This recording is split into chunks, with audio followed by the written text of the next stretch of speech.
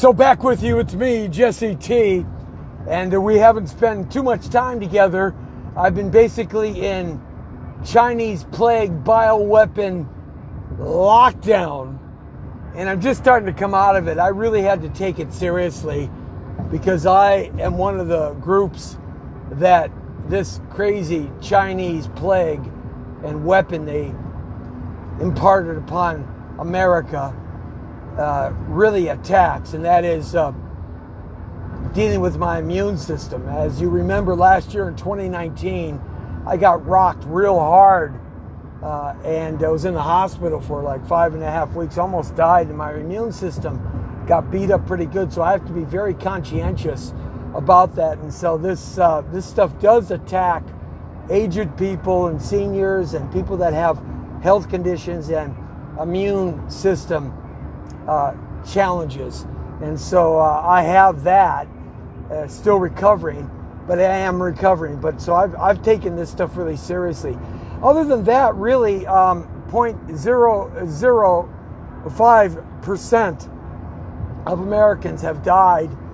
It's unbelievable. Uh, they don't talk about that.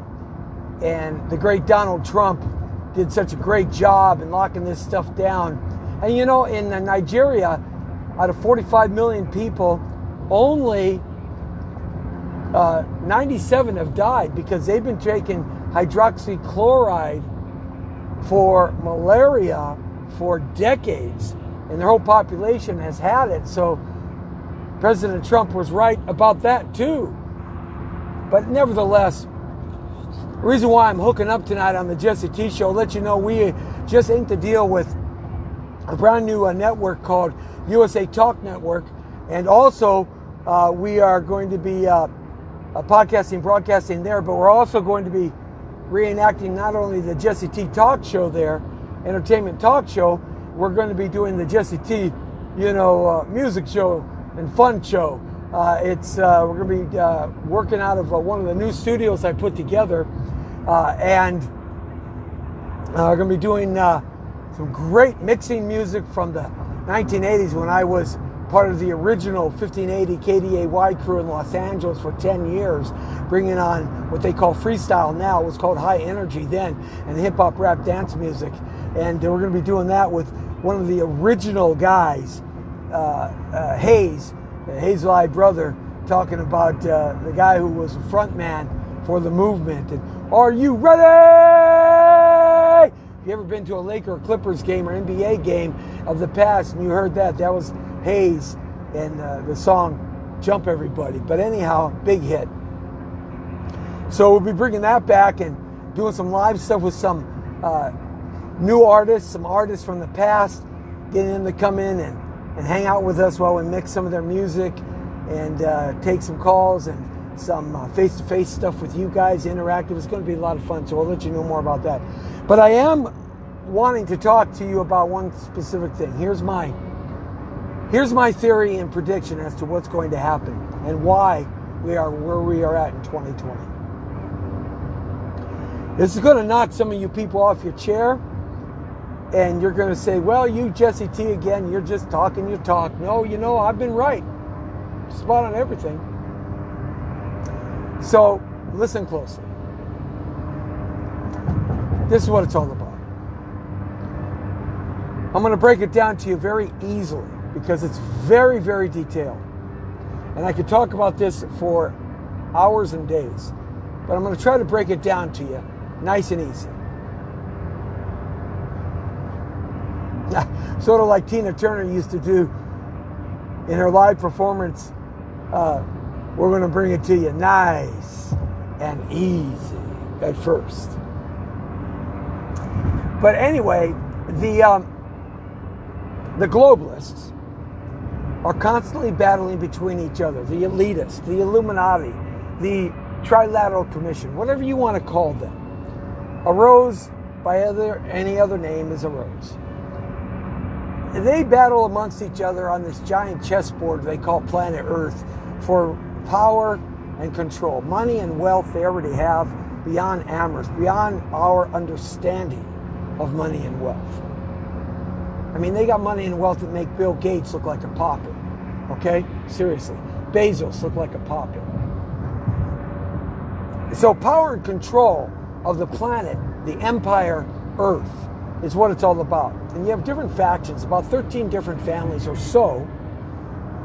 They vie for power and control parts of the Earth. And now they're vying for power and control on who's going to dominate planet Earth. And in order to do that, they've got to bring down America's middle class. Got to break the back, the will, the spirit of the greatest nation ever to be created by the hand of God. And they've been pecking at it and pecking at it and pecking at it since the end of the Civil War. Now they have the technology and the know and the experience that they put together a package. And the package was this let's attack the health of the Western world. We own the media. Let's propagandize a storyline so that everybody in the world becomes fearful and in western world becomes fearful the capitalist world remember that word becomes fearful and it infiltrates america the leader of the capitalist world so that we can attack them economically and shut them down using the communists the Marxist communists, the Maoist communists. Communism comes in two flavors Marxists from Russia, Maoists from China. They're vastly different. They hold the same name, but they're different. Sort of like a bicycle tire and a car tire. They're a tire, but they're different. Utilizing them, and let's create a situation by which we break the spirit and the will of the back of the United States of America and the rest of the Western world so that they will capitulate and become part of this new world order, this one world economy, this restart that we want to do. We've got the ability, let's throw it all of them at once. So we're going to have Clinton in his first term sign a promise an executive order legislatively that America will never be a first strike against anybody in nuclear weapons. We will take the first hit before we strike back, which he did. So we will never launch first strike. Keep that in mind. And in his second term, Clinton said, well, we're going to give you a little bit more because, you know, he's owned by the corporations, which are owned by the banks, which are owned by the insurance companies, which are owned by the global elitists. So he's bought and paid for. Second term, he signs an act legislatively that we keep all of our subs, 50% of our subs, ballistic subs, have to stay in dock. Only 50% of them can be out in the oceans roaming the seas at any given time. And did you know the warheads on the ICBM missiles on our ballistic submarines cannot penetrate a hardened silo or shelter? Can't do it. They're not big enough, thick enough, strong enough. But their first strike weapons can. So the first strike is going to be against America. I'll tell you by who in a second. So we have America trying to recover. Everybody's fearful. Everybody wears these masks, of which only 0.005% die. And if you're under the age of 19, you have a 99.99999% chance of living, but it only attacks old, aged people, people with serious health conditions, and people that have immune challenges. Let's destroy their economy, scare the world, control the media, pump the story. Our socialist Marxist corrupt government officials will follow along and let's create using the Marxist ideology that Karl Marx developed in 1848 in Paris uh, uh, in a book called The Little Boy or Little Play. He was thrown out of Paris. Then he went to England. He was thrown out of England because he was a rebel rouser, he and his benefactor. And they isolated himself and went into hiding in Russia until Lenin came around and the Bolshevik Revolution. By then, Karl Marx was an old guy. And he died and Lenin took it on then into Stalin and into Brezhnev.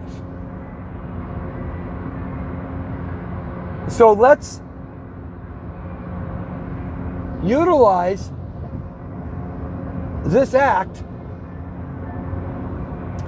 And since we control the first strike, let's have the communists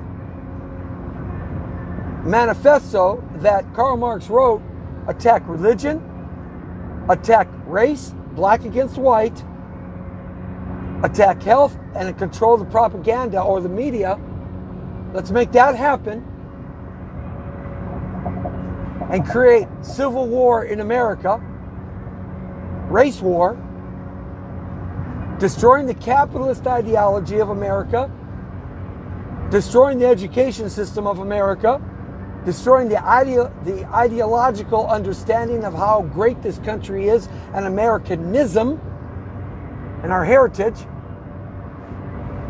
And while they're dealing with that, let's shoot a first strike attack, knock out their military, and force America to join the new global one world government and economy.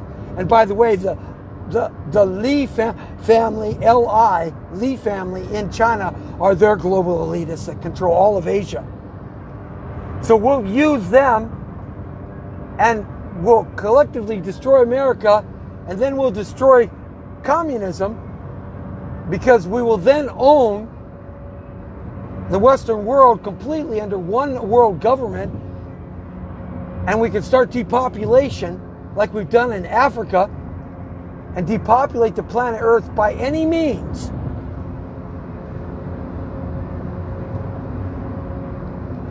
Now, there it is. That's exactly what they're doing. I predict seven to ten years, we're going to be World War III with China. They're going to first strike us. What you going to do? Jesse T, let me know what you think.